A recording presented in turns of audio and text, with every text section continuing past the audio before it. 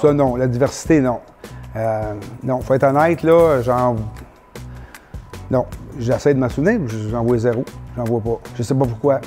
C'est de valeur qu'il n'ait pas plus, parce que c'est tellement une belle job, là, c'est tellement un beau métier. là. C'est un milieu dur, hein? c'est un milieu dur, c'est un milieu d'hommes qui se valorise pas toujours du bon côté, là, pour rester poli. C'est fort sur je suis plus un homme qu'un autre homme, toujours déguisé sur euh, l'apparence de joke, là, mais il reste que oui, c'est une forme de harcèlement, d'intimidation, c'est une forme d'intolérance. Les premières journées à l'accueil, la première chose qu'il dit, c'est tolérance zéro sur l'intimidation. Maintenant, je trouve que les filles sont mieux entourées qu'avant, puis ils ont beaucoup plus de- de- de- d'appui en- de- du contremaître ou du boss. On arrive le premier jour, là, puis dans notre ouvrage, le, le gérant de projet te le quitte, tout de suite, de dire aux filles, si t'entends quelque chose, n'importe quoi, viens me voir tout de suite, on va te régler ça tout de suite, tout de suite, tout de suite. On accepte, j'accepte pas ça sérieusement, là. Il faut pas gêné de dire qu'est-ce qui se passe. Si vous avez un problème d'intimidation, que ce soit une femme, que ce soit un homme, que ce soit par rapport à une croyance ou n'importe quoi, venez nous en parler, on va le régler. Puis c'est pas quelque chose qu'on tolère. Faut pas rester dans le silence, c'est certain.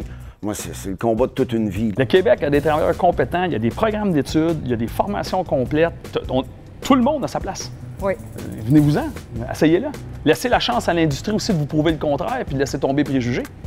Faut nous laisser la chance de vous le prouver. J'ai une fille avec moi présentement sur le chantier. Tu vois, elle est rendue le midi, ça s'est mis à jaser, puis ça s'est mis à parler de recettes. Les gars, tout le monde parlait Ouais, moi j'ai fait ça, moi j'ai fait ça. Tu sais, C'était cool. tu sais, C'était. trouvais ça le fun? Je suis encore là, moi, ça fait 18 ans. Puis je vais être encore là dans 10 ans parce que je, je me sens à ma place. Parce qu'ils me font sentir à ma place. L'ambiance de travail, c'est important, puis je pense que tout le monde devrait se sentir à sa place au travail puis pour gagner leur vie. Venez, venez travailler. Moi, je suis pour ça, là, le, le- le- le- mélange des genres et des personnes dans la construction. Ça aussi, ça change.